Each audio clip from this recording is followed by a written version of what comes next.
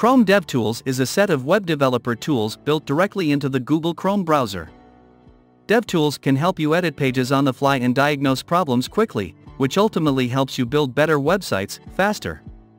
In this video, we outline a step-by-step -step implementation of DevTools for API testing. Step 1. Open the Chrome Developer Tools.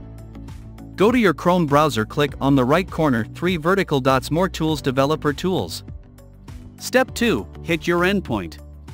Now in the URL tab hit your endpoint or the URL you want to test.